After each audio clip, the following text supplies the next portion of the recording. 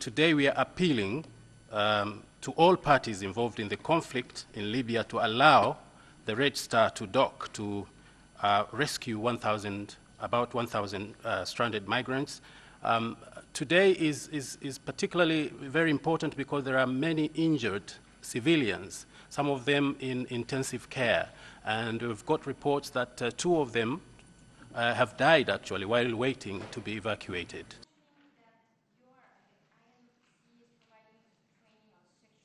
This past weekend, more than 8,000 people, uh, more than 8,000 people, most of them ethnic Berbers, arrived in Dehiba in southern Tunisia.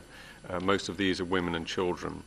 Their situation is being made worse by a violent sandstorm that has battered the area. UNHCR and our partners have been struggling to maintain nearby camps in these conditions. The storm has destroyed hundreds of tents and two huge portable warehouses.